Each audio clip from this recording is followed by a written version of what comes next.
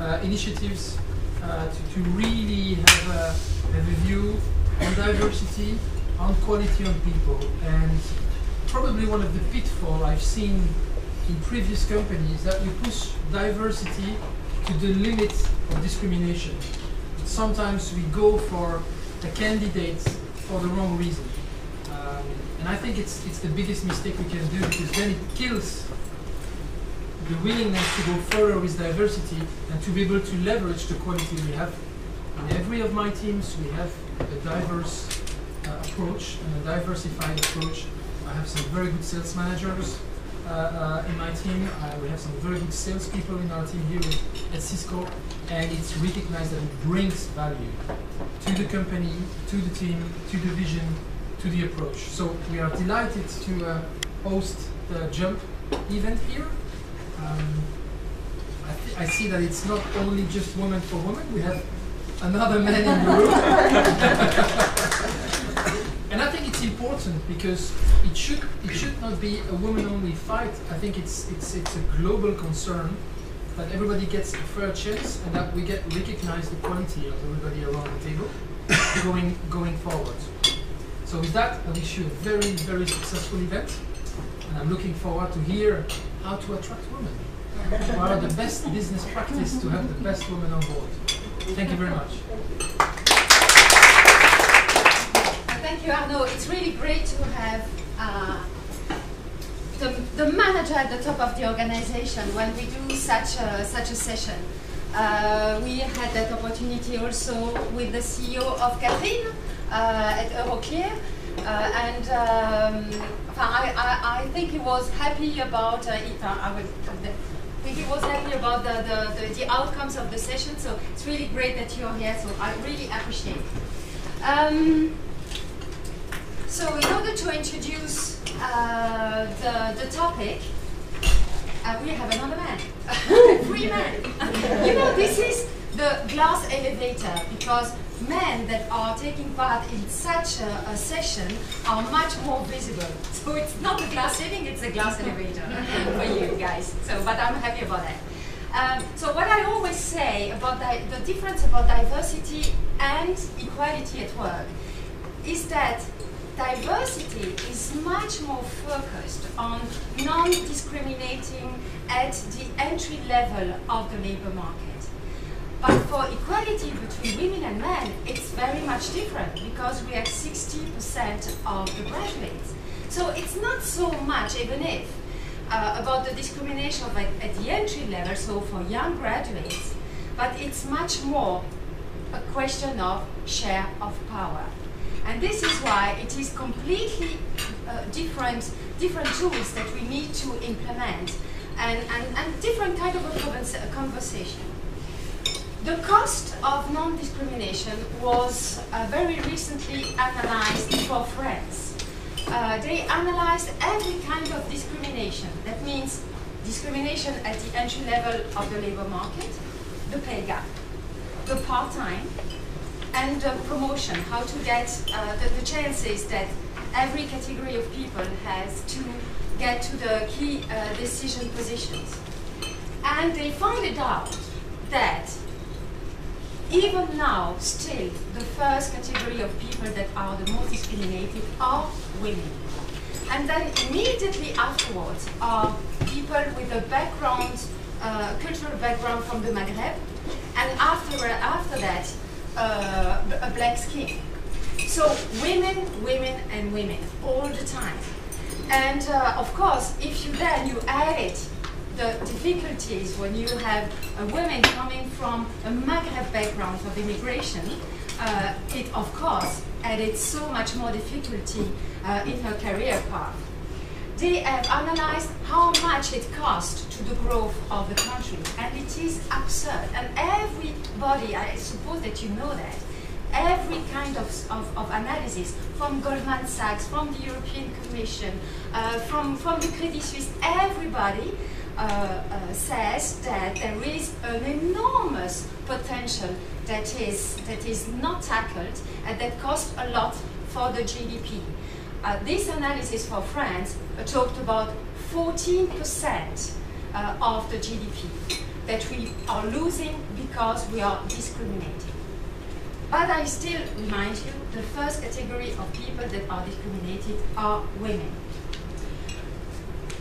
Uh, Claudia was there on Thursday night. Uh, Mia Hela, uh, the general manager, HR manager of uh, uh, is not there for the moment. I, I, I suppose she will come. Uh, we were there at this event, and there was an HR manager for industry that told us that there were 60% of engineers that were women. And I said, no, I must have uh, heard wrongly. It must be uh, 70, 70, she said. And I said, no, it must be 17. Twice I completed it. 17 maybe. No, no, 70. So if, if there is such a lack of knowledge uh, for an industry HR manager uh, to recognize that there is a problem in uh, the qualifications of women, in certain types of qualifications of women, and most of all, engineers and IT, then it is complicated to have really good action plan in order to get the most of this talent that very, very few women that do uh, uh, that do graduate in this kind of, of, uh, of, uh, of qualifications. When I was on, on Saturday, I was doing um, a conference with the vice rector of Université de Namur, and she's a teacher, professor, academia professor, in the IT faculty. And she said, at the beginning of my career, we were 30% of women in the auditorium, and now there are 3% of women. And so the problem is really be, uh, becoming uh, bigger and bigger. That means that for companies, uh, most of the companies around the table that are dedicated to recruiting engineers and uh, with IT backgrounds also, we have a real problem in tackling uh, these, these women. We need to face that.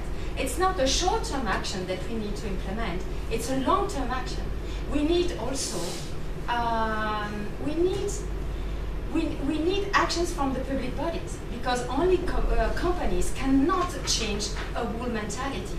So it must be connect, in connection with public bodies, with NGOs, that we can face that. But I still repeat, at a long-term uh, uh, long-term uh, view. Um, what we did in JUMP, we did many things. Uh, the first thing that we did is that some years ago we were national point of contact for women in technology. The central uh, uh, European point of contact was in Oslo. And our first task was to implement, to build a platform of different actors. So a task force. Task force with public bodies, uh, together with NGOs, working on that specific topic, how to get more uh, uh, girls into, into science, into engineering, into IT and also companies. We, we needed together uh, everybody. We, we did a fantastic uh, analysis of figures and uh, we will send it to you uh, after, uh, after this meeting. Uh, we did a report on that and we did also a fantastic launch, event launch at, the, at the Senate. So everybody was so happy. And then when it came to, okay, please come into that platform so that we can exchange best practices.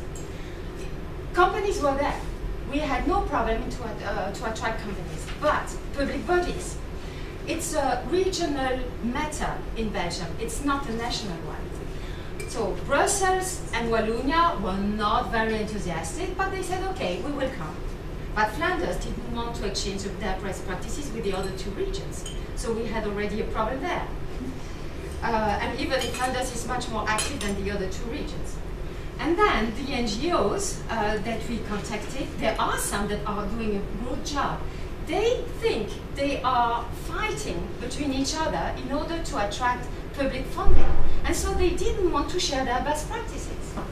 And so we were there with a task force that could not uh, live, of course, because we didn't have all the actors around the table. And so after a bit more than one year, we decided to leave that project, unfortunately. So there is a big, big challenge uh, uh, ahead of us. Then another thing that we did is Siemens. Siemens never really participated to JUMP, neither to the JUMP forum, neither to, to the hub and so on. But at a certain point they called me, uh, we need urgently to, to meet you because we have quotas, uh, so Munich uh, called us, uh, uh, uh, imposed us quotas, and the problem is that we don't have enough women to fill these quotas, even at the, at the entry level.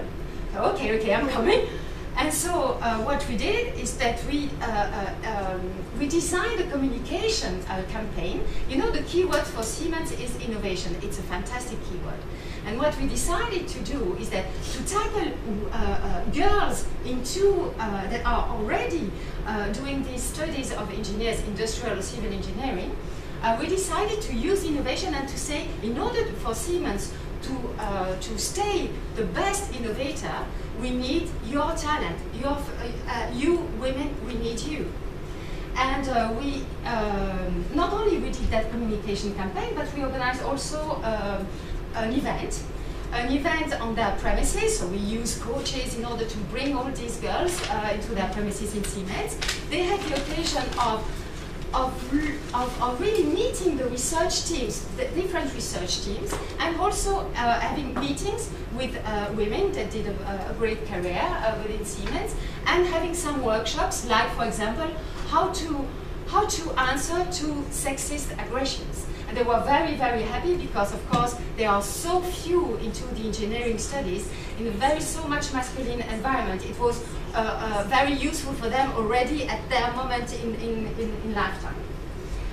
And another thing that we did uh, is that uh, I personally was into the gender expert team, but also the communication expert team of the European Commission to launch a very big awareness campaign to attract more women into science. So it was not about IT because you, you I don't know if you know, but in the, in the European Commission, Claudia knows it very well, uh, DGs unfortunately don't really work together, and IT is another DG, uh, DG general direction than, than research. But anyway, okay, so we focus on science. And we decided to do that awareness public campaign on science, it's a girl thing. Saying, we need you girls, we need your talent. Uh, science uh, is also for girls. You don't need to, to, be, uh, uh, uh to have no makeup and, you know, uh, in order to be a good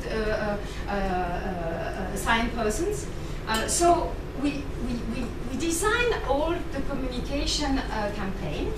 We checked all the tools that were implemented. We worked for two years. And at the very end of the process, everything was really great. So much money was involved in that. And at the end of the process, there was a video, a video that had to go on the social medias uh, in order to be viral, of course, and to launch the campaign. Unfortunately, we didn't check the video because it came out.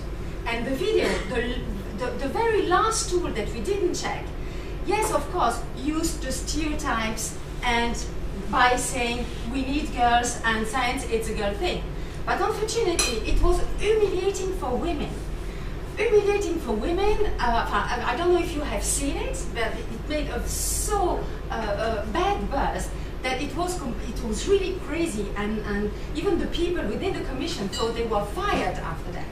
Unfortunately, uh, uh, instead of taking that uh, uh, uh, bad adventure, bad case, to say people, to say to, to tell people, see how it is difficult to tackle stereotypes, see how it is difficult to take to tackle gender differences. We did it wrong. So uh, forgive us. We will uh, make it brand new with your suggestions. And a lot of uh, NGOs and different experts sent some suggestions to the European Commission but they did nothing out of them. Uh, uh, uh and they, they, they had under, uh, under the table saying, well, we, we, we take out uh, the, the video from the social media and we will we, we take out the pink from the you know from the logo science is a girl thing and so they made a campaign which which is without any kind of soul so this is to say that even if there is a big energy, big effort, big amount of money, uh, tackling gender differences and stereotypes is so much difficult. It can cost a lot in terms of reputation. Uh, we have a lot of different uh, uh experiences around us. Uh, but this is, this is to say that it's really a very difficult job.